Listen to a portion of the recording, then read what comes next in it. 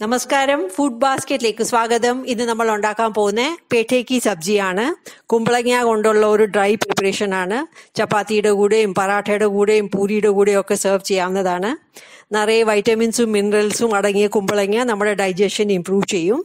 അപ്പോൾ പേട്ടേക്കി സബ്ജി എങ്ങനെ ഉണ്ടാക്കാം നമുക്ക് കാണാം.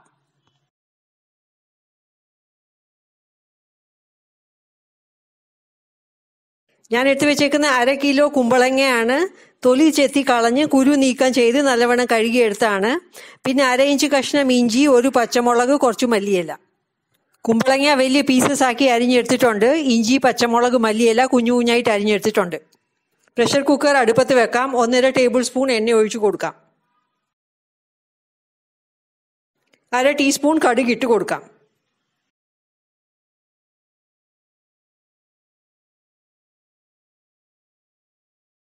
കടുക് പൊട്ടിയിട്ടുണ്ട്. അരിഞ്ഞു വെച്ചേക്കുന്ന ഇഞ്ചി പച്ചമുളക് ഇട്ട് കൊടുക്കാം.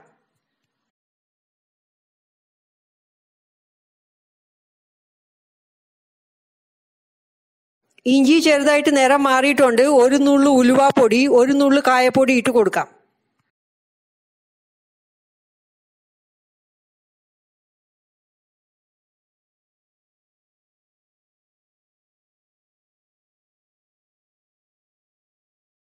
കാ ടീസ്പൂൺ ജീരകപ്പൊടി കാ ടീസ്പൂൺ പെരിഞ്ജീരകപ്പൊടി ഇട്ട് കൊടുക്കാം.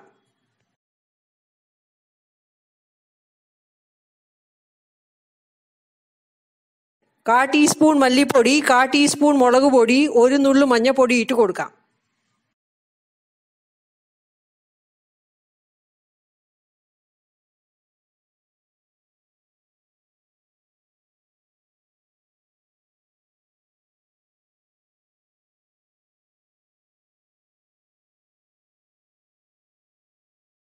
മസാല നല്ലവണ്ണം ഫ്രൈ ആയിട്ടുണ്ട് കുമ്പളങ്ങ ഇട്ട് കൊടുക്കാം.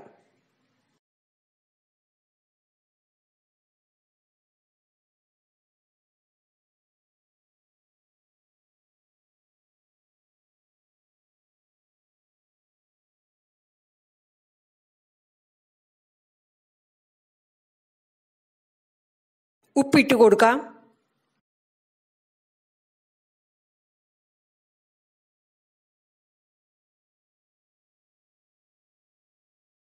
കുമ്പളങ്ങ ഒരു മിനിറ്റ് ഫ്രൈ ചെയ്തിട്ടുണ്ട്. കാ കപ്പ് വെള്ളം ഒഴിച്ചു കൊടുക്കാം. കുക്കർ അടയ്ക്കാം. വിസിൽ വന്നു കഴിഞ്ഞ ഉടനെ ഗ്യാസ് ഓഫ് ചെയ്യാം. കുക്കർ തണുത്തിട്ടുണ്ട്. കുമ്പളങ്ങ വെന്തിട്ടുണ്ട്. വീണ്ടും അടുപ്പത്ത് വെക്കാം. ഡ്രൈ ആക്കി എടുക്കാം.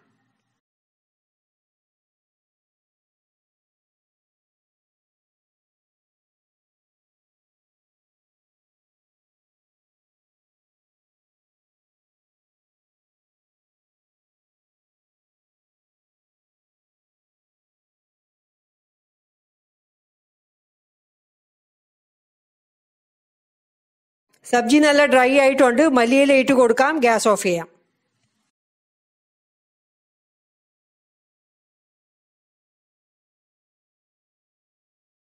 അങ്ങനെ പേഠേക്ക് സബ്ജി റെഡി ആയിട്ടുണ്ട്. നമുക്ക് സെർവിങ് ബോളിലേക്ക് ആക്കാം.